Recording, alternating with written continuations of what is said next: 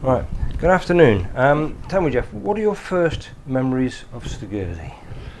Uh, I think, I think the first thing I can remember was when I was about maybe three, four years old, living in this house.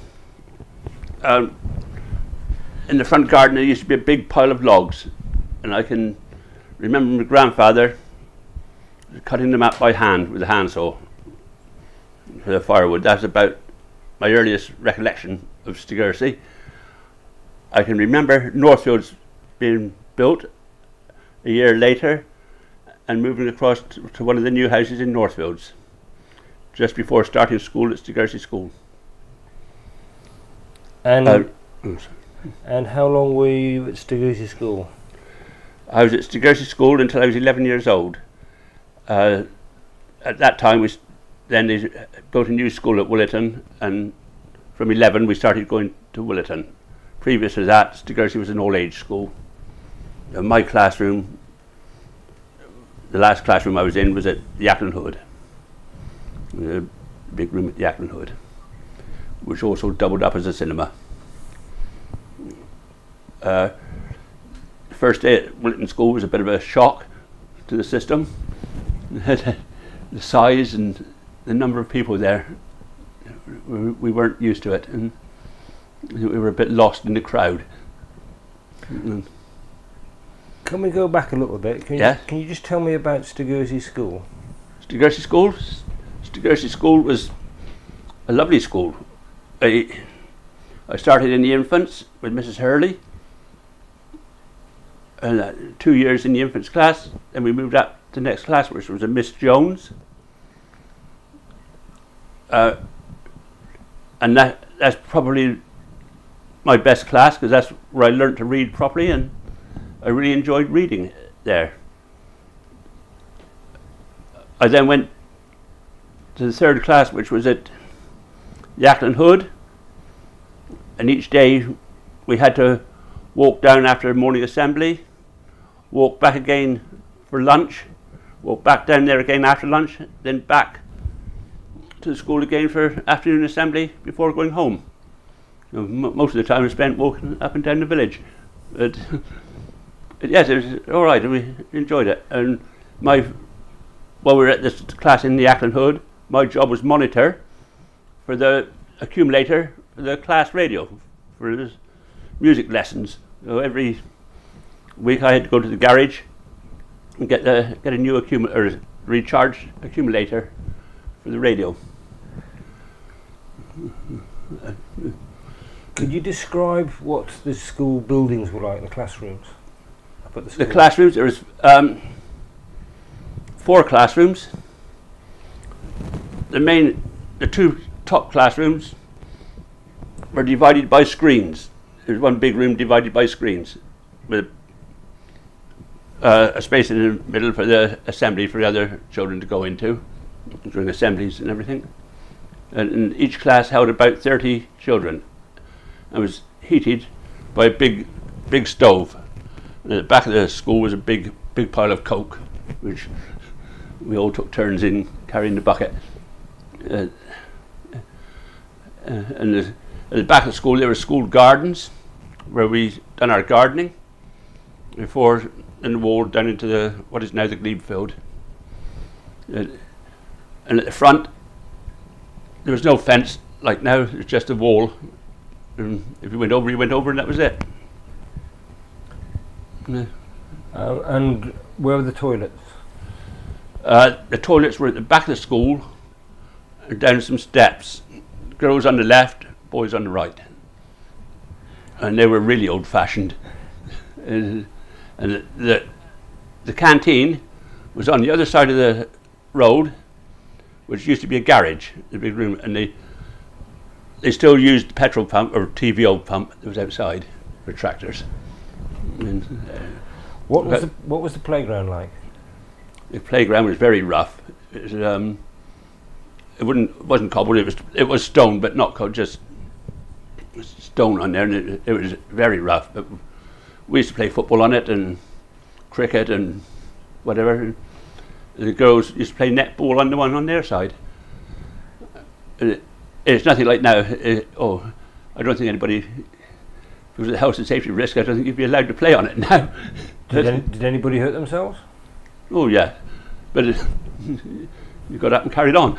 You know, you didn't take so much notice. And like, like now you taking in and washed off and everything, but now you, you, know, you just got up and carried on.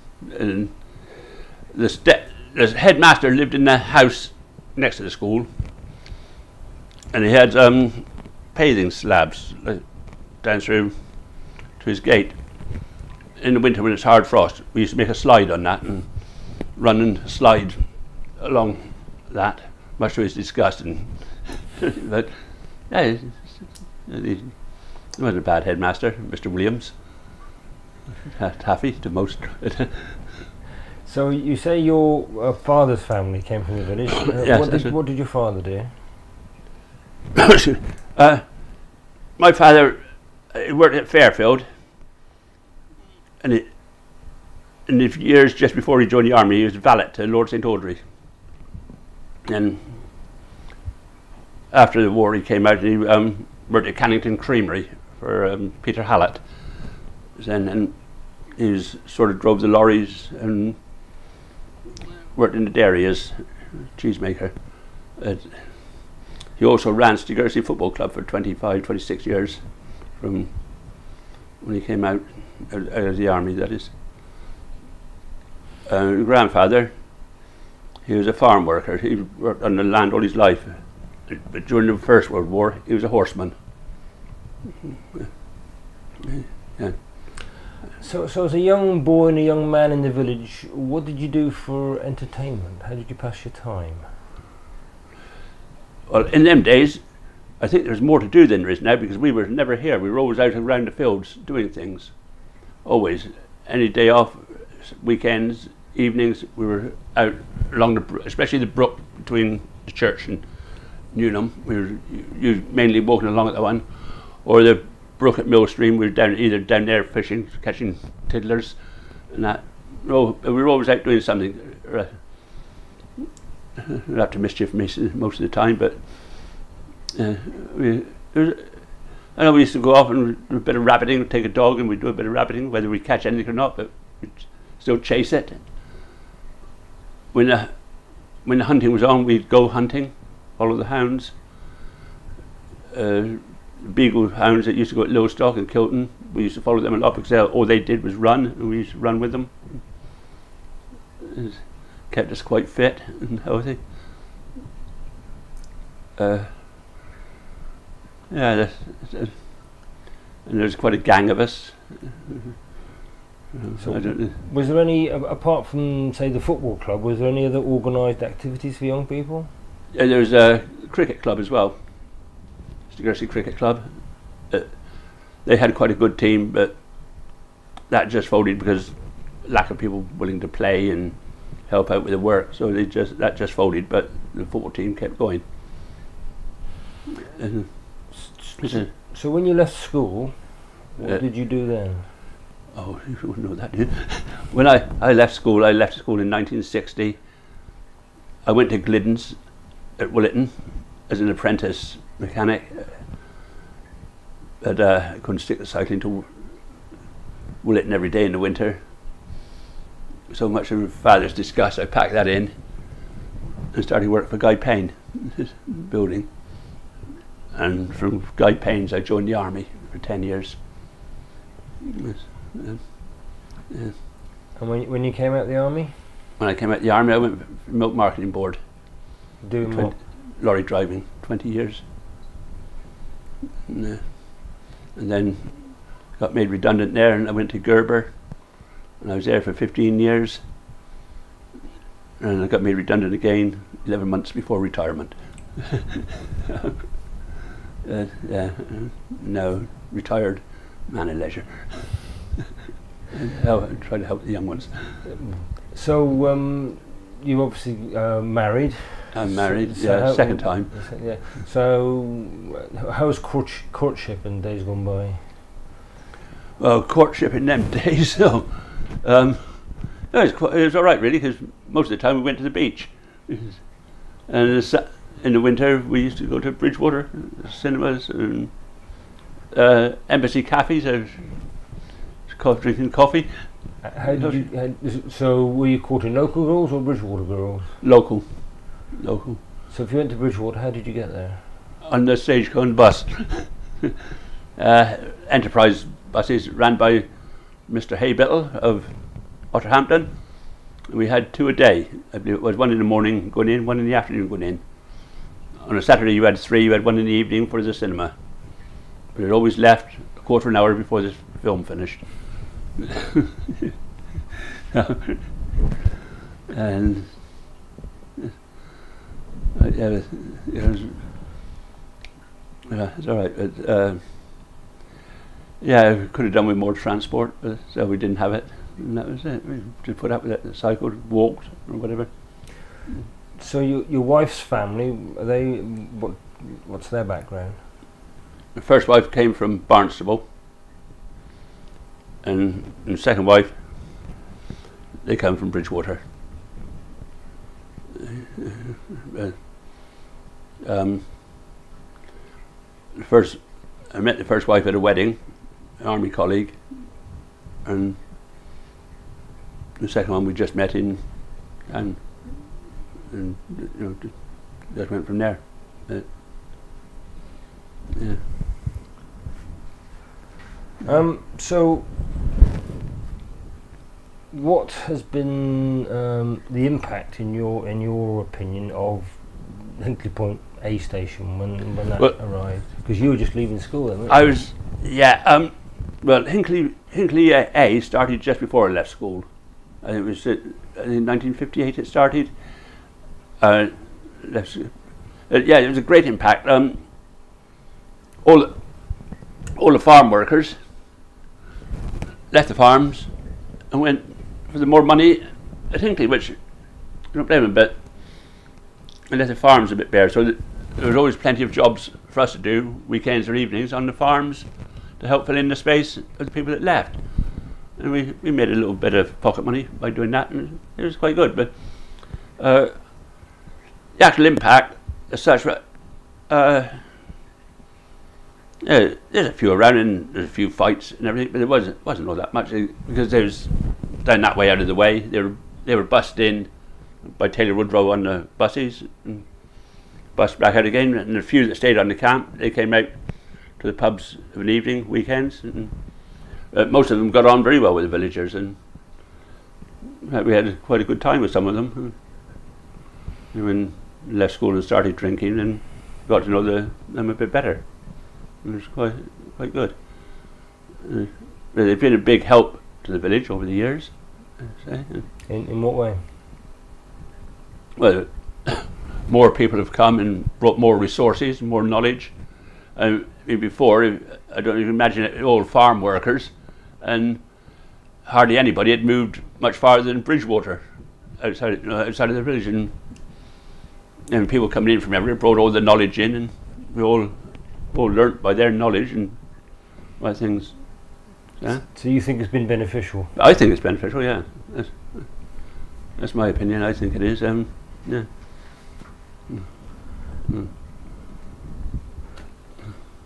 So has the um, countryside around changed very much? Oh, the countryside has changed a lot. Yes. Uh, well, uh, just the road itself from Cannington to Hinkley Point, is, that split Wick Park in half. Uh, and as you, you still see parts of the old road on, or used as laybys and everything. But yeah, the and the, and with the falling of the elm trees, now you, before you couldn't see hardly anywhere because of the amount of trees, but now you can see everywhere. No, tr- not a tree in sight. Now, I'm talking about elm trees was they were all over the place. What about types of crops? Oh, the types of crops, yes. Is now you have oilseed rape. You never had in my younger days.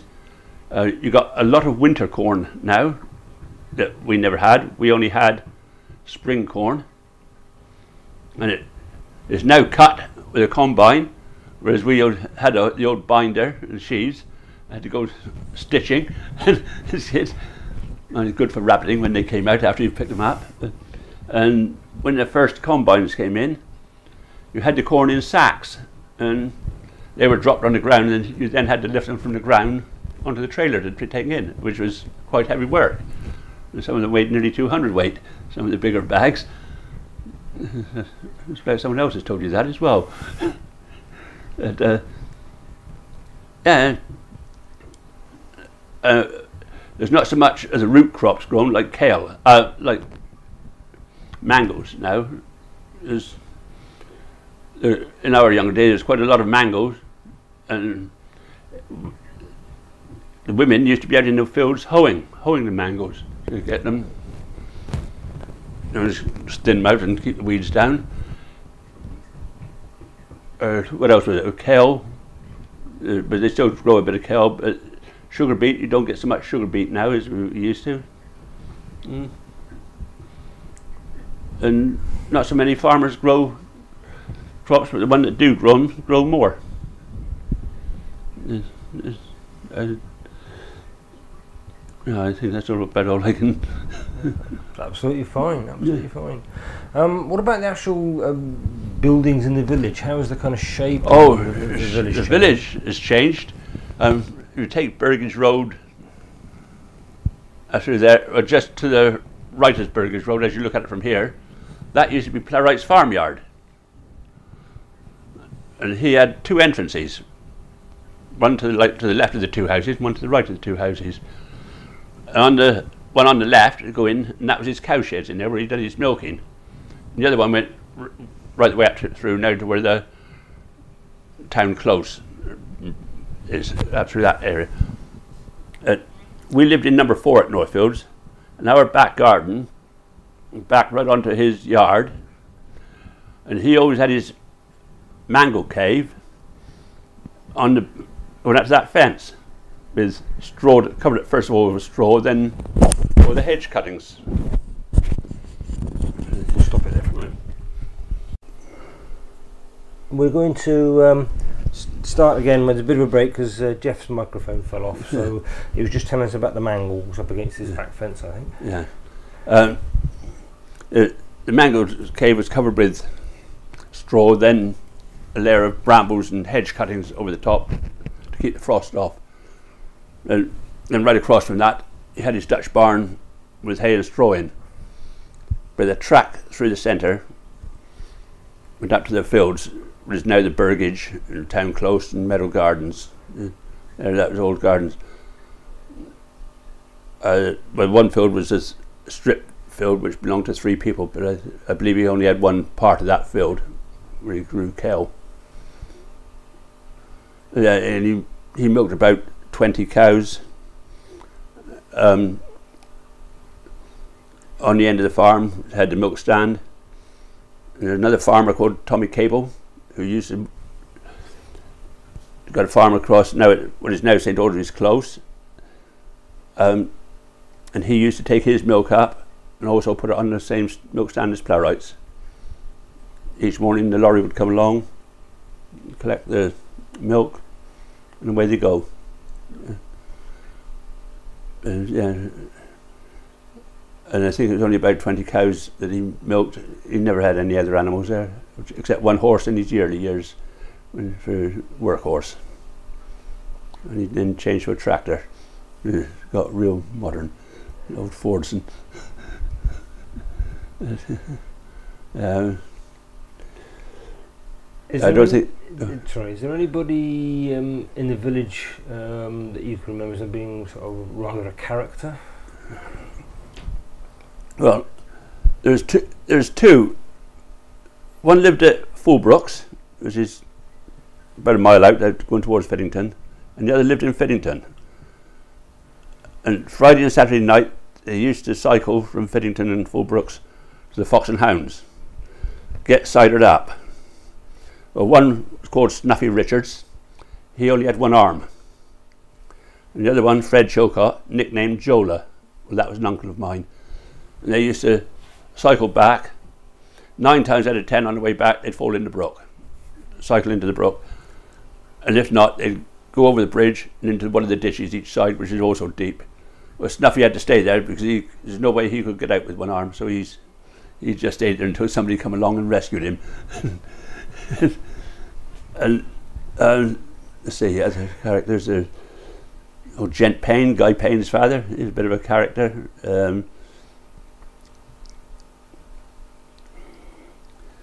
oh, Liza, we call, always called her the witch in the high street. She was always always dressed in black and always sat outside her door.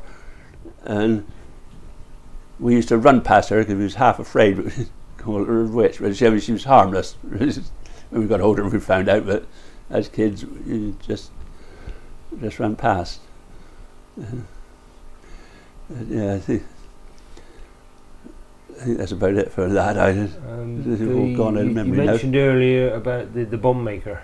Oh, um, uh, Edward Till was brought down from London, and he lived in the village. And I, I, I believe it was Quantock House he lived in, and he was a he was a bomb maker.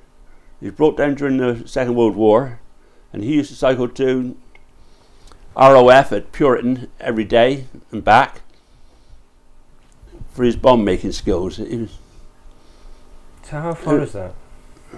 well, it's nine to Bridgewood. It must be 18 miles each way. It's got to be, isn't it? Uh, 18 miles each way. Uh, used to do about 10 hours there, then cycle cycle home again. All winds and weathers. Uh,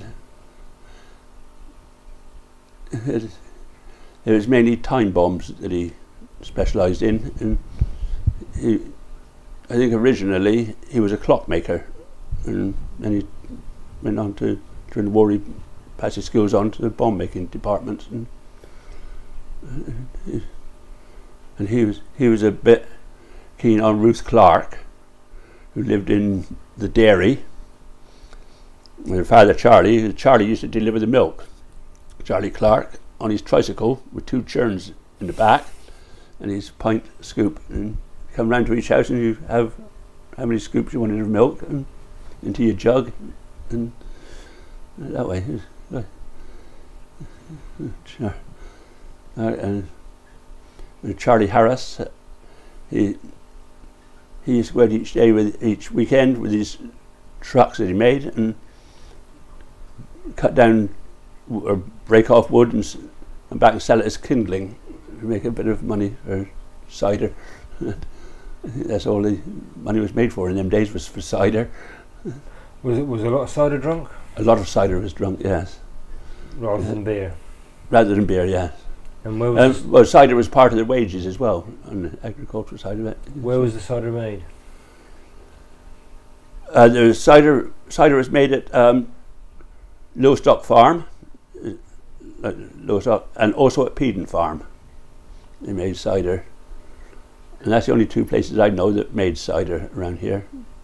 There's, there's, there's one at Over Stowey. I couldn't, can't remember what his name is, and there was one at Cummings. I can't remember his name neither. But the most popular ones was Stowey. So they must have made a lot, a lot of cider. They made a lot of cider, yeah. yeah. Uh, we, we used to have a glass whenever we went with parents and that, and it's all right. Get the taste. Can you tell me about any sort of big days that happened in Jersey, special events, celebrations, and coronation.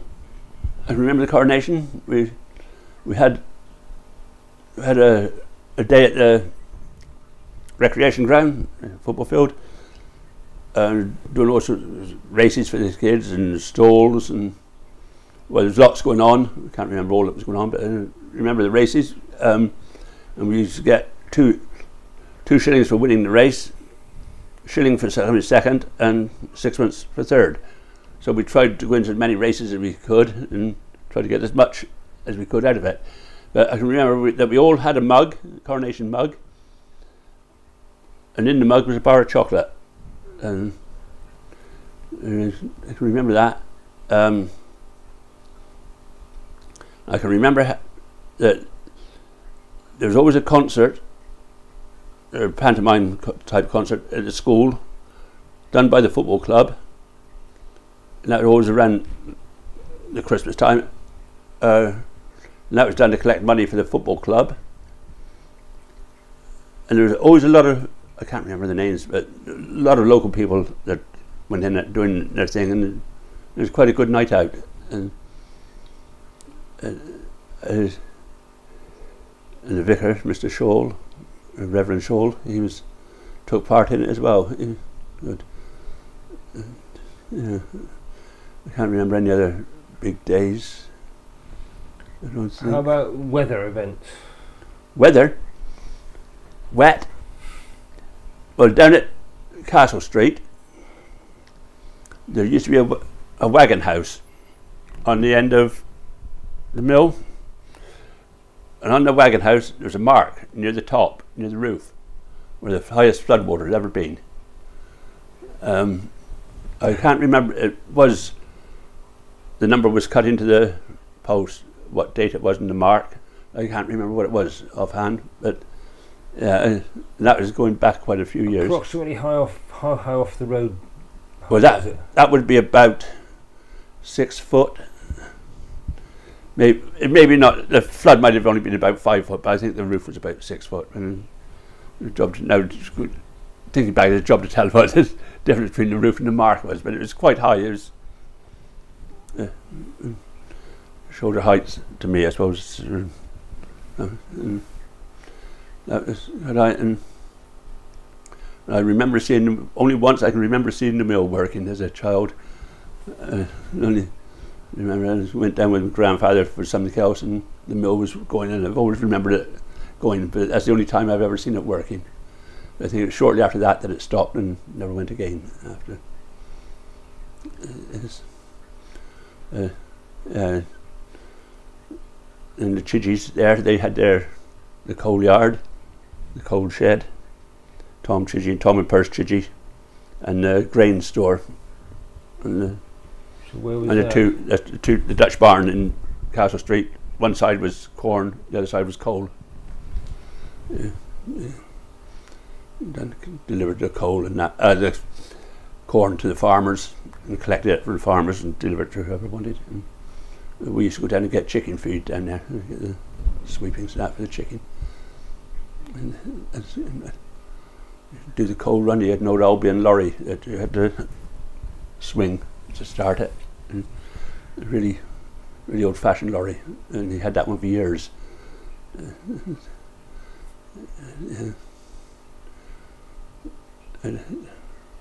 Ben Pierce down at the mill. He, no, he he wouldn't let anybody on his land, so he couldn't couldn't go anywhere near it. Uh, and uh, so how did you keep them off? Oh, he chased. he ran after you. so we we didn't bother too much with that then.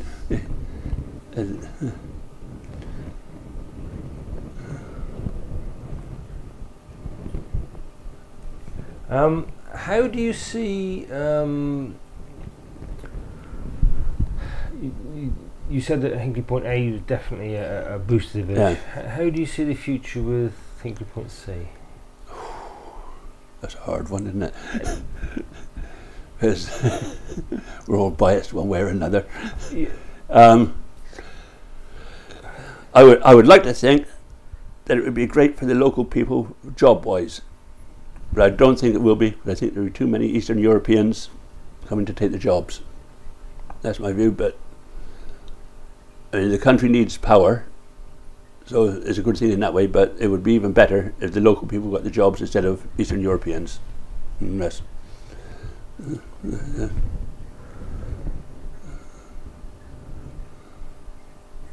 Okay. Um, is there anything else you'd like to tell me? No, I don't know about it. I think because um, 1962 I joined the army, and I was in the army for 10 years. So I was out of this area for 10 years. Did, did you notice much change in the village in those 10 years? So yes, I did. yeah, yes, you, I, I did. about that? Um, well, when I came home, there was a caravan site down at, um, I forgot the name of the field now, Chris Strongbox site. There was a caravan site down there for the Hinkley Point workers. Uh, Meadow Gardens and Town Close had been built. There's a few name changes to streets. a lot of the farmers had gone. Down at um, the Church Street, where the blacksmith used to be, uh, Perry's, Gordon Perry, that that was a farm that had gone. That was two bungalows, or one bungalow and one on the side of it. Um, Harold Morgan down at Paddens, he'd finished milking and everything. It's had all been sold. The Warners were just about ready to give up the farm, and it's just completely, completely changed. So do you think B station almost had more effect than A station? I, th- I yeah, I think B station had. Well, I noticed more of change with B station and A station because of the time of not being here and coming back. Had I stayed here and saw the gradual change, probably wouldn't have noticed so much. But yeah, when you look at it, leave it for a long time, then look at it. Yes, it was a big change. I would, I would say it was more of an impact than A.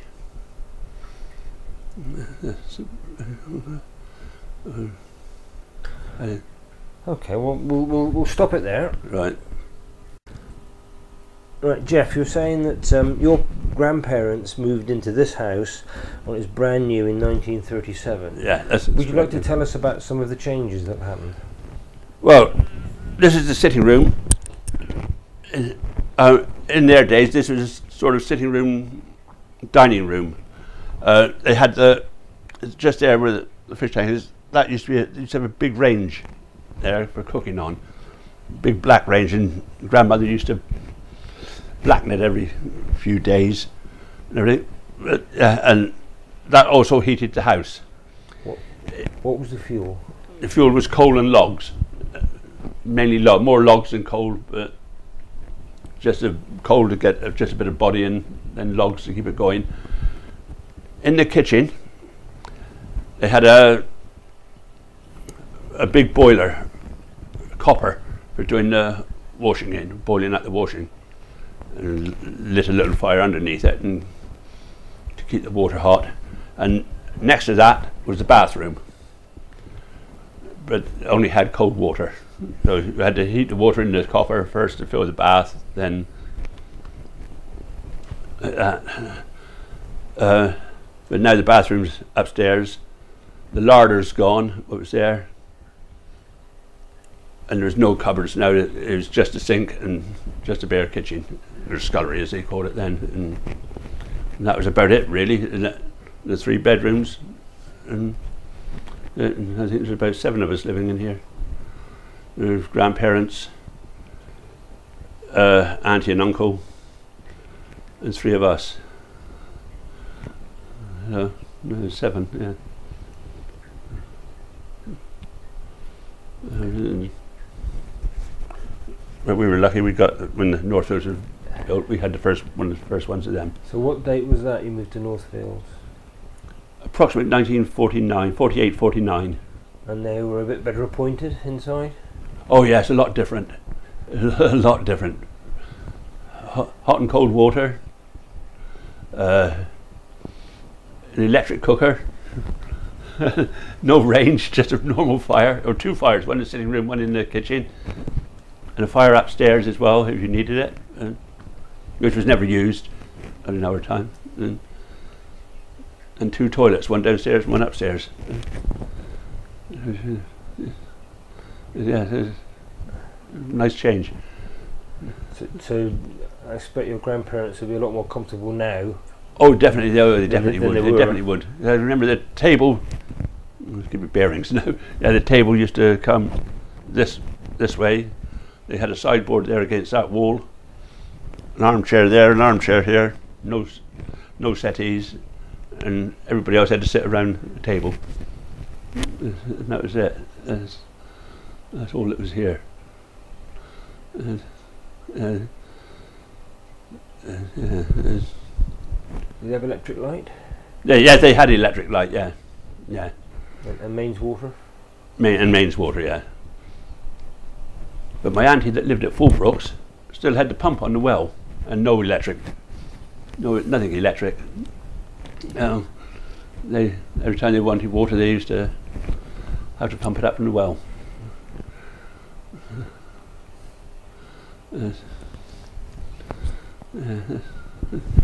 And the other thing, everybody kept chicken in them days.